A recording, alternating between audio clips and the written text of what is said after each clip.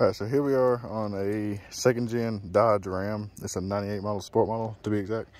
Uh, I got new door hinges and I couldn't for the life of me figure out how to get back to that bolt. I found a hole that you can go in through right there and reach up and try to get it with a box end wrench. That just wasn't cutting it.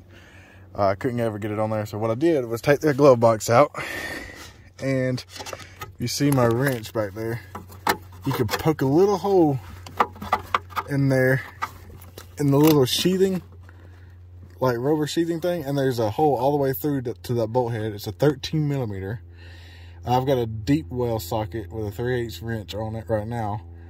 Uh, and I was able to finagle it onto the head and loosen it up, thank the Lord. But I figured that would help somebody because it took me forever to figure figure that out. So, a little pointer for you.